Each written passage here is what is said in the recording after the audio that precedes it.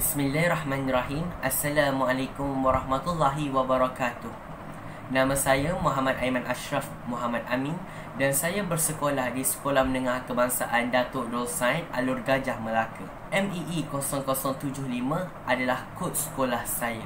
Ilmu dikongsi, pengetahuan dicurahkan. Itulah perkongsian saya pada hari ini. Izinkan aku mencari Tuhan tajuk novel saya yang ingin saya sampaikan. Novel ini telah dikaryakan oleh seorang penuntut University of Oxford, United Kingdom iaitu Aizuddin Hamid. Novel ini juga mempunyai sebanyak 283 muka surat. Kisah yang ingin dikongsikan dapat kita menjadikannya sebagai satu iktibar terhadap diri kita sendiri. Coretan takdir hanya permulaan Setiap kisah punya pengakhiran. Kehidupan yang dialami oleh Malik sukar dijelaskan. Terdapat dugaan yang ditempuhinya bagi mencari jawapan.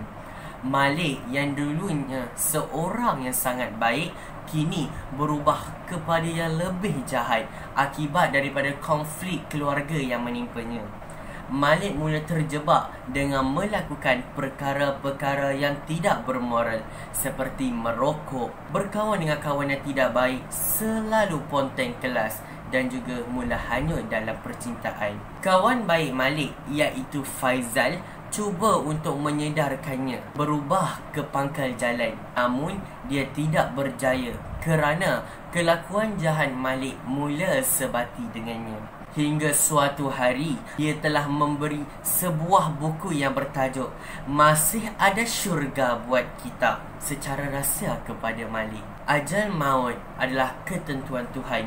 Akhirnya Faizal menemui ajal tetapi dia sempat berpesan kepada sahabat baiknya Ashraf agar cuba untuk menyedarkan Malik. Takdir telah menemukan Ashraf dan juga Malik. Mereka mula berkenalan dan lama kelamaan Malik mula sedar dan kembali ke pangkuan jalan. Maka daripada situ Malik berhasrat untuk berubah kembali ke jalan yang benar. Dia mengatakan, "Kenapa kehidupan aku ini tidak seperti orang lain? Ya Allah, sesungguhnya aku tidak mampu melakukan semua ini ya Allah." Jangan salahkan aku ya Allah. Sekira ujianmu ini sangat berat untukku. Kerana ya Allah Engkau telah memberikan sesuatu yang aku tidak mampu. Malik mula menjadi seorang insan yang sangat baik.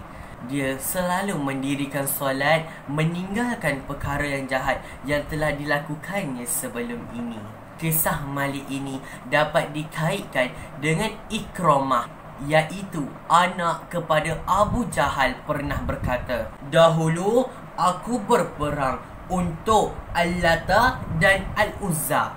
Apa itu Al-Lata dan Al-Uzza? Ada yang tidak mengetahui ini kan? Al-Lata dan Al-Uzza merupakan antara berhala yang terbesar mengelilingi Kaabah. Sekarang aku serahkan jiwaku kepada Allah. Di sini dapat dijelaskan bahawa setiap manusia mempunyai jalan merubah ke arah kebaikan.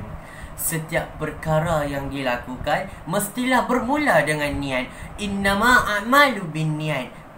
Kupasan surah Ar-Rad ayat 11 berbunyi. Sesungguhnya Allah tidak akan mengubah keadaan sesuatu kaum sebelum mereka mengubah diri mereka sendiri. Pengajaran yang kita dapat ambil daripada novel yang saya ceritakan sebentar sahaja tadi ialah setiap orang mempunyai peluang dalam melakukan sesuatu perkara yang ingin mereka lakukan ke arah kebaikan. Setiap orang perlulah melakukannya bermula dengan niat. Kerana niat itu penting bagi menjadikan seseorang individu tersebut berubah ke jalan kebenaran Allah. Sampai di sini sahajalah cerita saya pada hari ini. Segala kebaikan adalah datang daripada Allah Subhanahu Wa Taala dan segala kekurangan adalah daripada diri saya sendiri. Segala salah tutur bicara saya harap dimaafkan. Maka di sini saja. Sekian wabillahi taufiq wal hidayah. Wassalamualaikum warahmatullahi wabarakatuh. Amma ba'du. Semoga berjumpa lagi.